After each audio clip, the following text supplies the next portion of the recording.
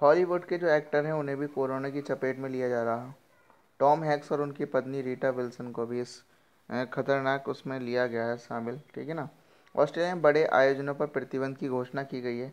Corona virus के प्रसार की रोकथाम को लेकर ऑस्ट्रेलिया सरकार ने, ऑस्ट्रेलिया सरकार ने जो है, यहाँ पर कहा है कि देखिए, अभी कोई भी किसी तरह का इस तरह की वो जो है सामने नहीं आएँगी। अभी देखिए किसी तरह के यहाँ पर नहीं किए जाएँगे, ठीक है? आयोजनों पर सोमवार से प्रतिबंध लगाने की घोषणा की, जिनमें 500 या 500 से अधिक लोग इकट्ठे होंगे। यह प्रतिबंध स्कूल, विश्वविद्यालय, सार्वजनिक परिवहन और हवाई अड्डे पर लागू नहीं होगा। ऑस्ट्रेलिया के प्रधानमंत्री स्कॉट मॉरिसन ने कहा कि कोरोना वायरस वैश्विक महामारी का रूप ले चुका है। विदेश यात्रा पर उन्हें जाना चाहिए। हमें ऑस्ट्रेलियाई नागरिकों को सलाह देते हैं कि वह अपने विदेश यात्रा करने की ज़रूरत पर पुनर्विचार करें। अपनी मंजिल, उम्र अथवा स्वास्थ्य की परवाह किए बिना सरकार ने वायरस की पूरी तरह वायरस की पूरी तरह जो है यहाँ पर छानबीन की है, स्टार्ट कर दी है, ठीक है ना, इस तरह की बात।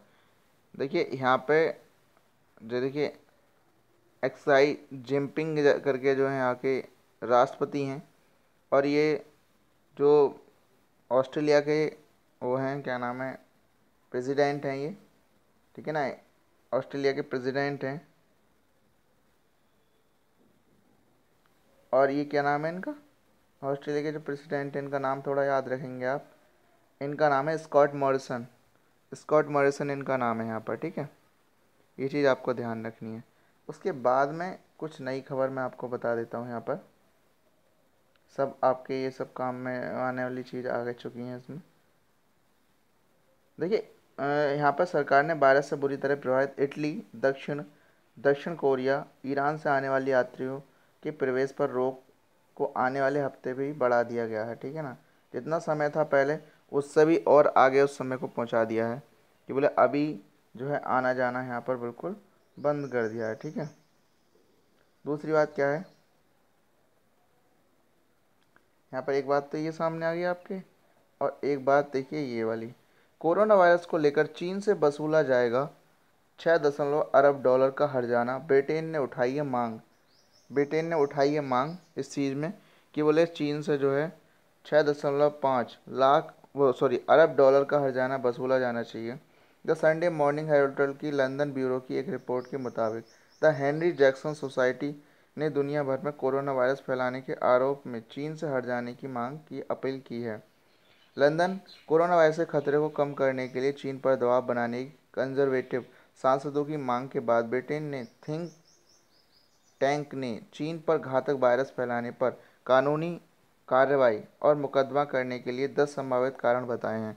देखिए, ऑस्ट्रेलिया के द्वारा भी यहाँ पर इन पर मुकदमा हो चुका है, चीन देश पर और लंदन में भी, ठीक है ना? द संडे मॉर्निंग हेरोल्ड की लंदन ब्यूरो एक ही एक रिपोर्ट के अनुसार द हेनरी जैक्सन सोसाइटी ने दुनिया में कोरोना वायरस फैलाया है, ठीक है?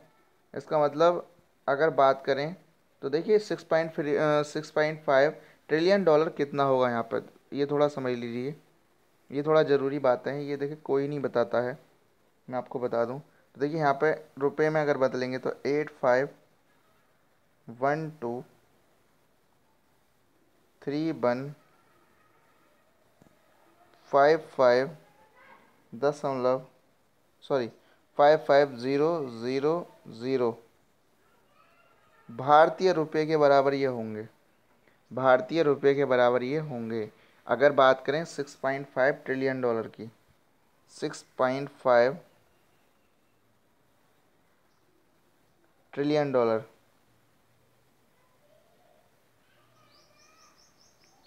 trillion dollar ठीक है ना? ये जो है इतने के बराबर यहाँ पर बैठ जाएगा। ये रुपए जो मैंने लिखे हैं eight five two three one five triple zero one double five triple zero ये आर्थिक नुकसान यहाँ पर हुआ है और ये हर जाना जो है यहाँ से जो है हम्म, वसूला जाएगा जी सेवन देशों द्वारा वहन किया जा रहा है कि लॉकडाउन के चलते इंडस्ट्री और बाकी काम बंद हैं और ऐसा ऐसे समय में जो है हरजाना वसूलना चाहिए।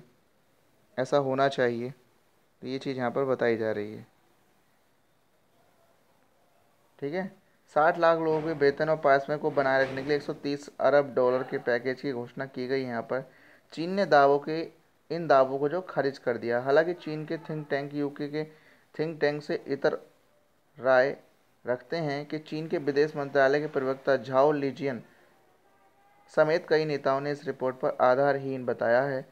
उनका कहना है कि कोरोना वायरस वुहान से ही से ही बाकी देशों में फैला ये दावा बिल्कुल गलत है, इसका कोई आधार नहीं है। बता दें कि अंतर्राष्ट्रीय मीडिया में ऐसी खबरें हैं कि कोरोना वायरस चीन के वुहान स्थित एक बायोलॉजी लैब से एनिमल मार्केट में फैला, जो लैब जो लैब कुछ मीटर की दूरी पर ही है। इसके बाद ये पूरी दुनिया में फैल गया। चीन शुरुआत से इन खबरों को खारिज करता आया है। अमेरिका ने भी किया मुकदमा। अमेरिका ने भी मुकदमा कर दिया है। बीस ट्रिलियन डॉलर का मुकदमा कर चुका है। अमेरिकी कंपनी ने आरोप लगाया कि चीन ने जानबूझकर यह वायरस छोड़ा है, ताकि अमेरिकी नुकसान, नागरिकों को नुकसान पहुँचाया जा सके। अमेरिकी कंपनी ने दावा किया कि चीन के वुहान शहर में वुहान बायोलॉजी इंस्टीट्यूट यह जैविक हथियार हथियार तैयार किया किया है, जिसने चीन सरकार और चीनी सेना वुहान इंस्टीट्यूट और ऑफ़ बायोलॉजी बायोलॉजी के डायरेक्ट भी, डायरेक्टर सी झेंगली और चीनी सेना पर मेजर जनरल छेन वेई की भूमिका से इनकार नहीं किया जा सकता। ये वाली बात इसमें बताई गई है। ठीक है, वीडियो को लाइक और शेयर करें सभी लोग इस वीडियो को देखते रहें। Thank you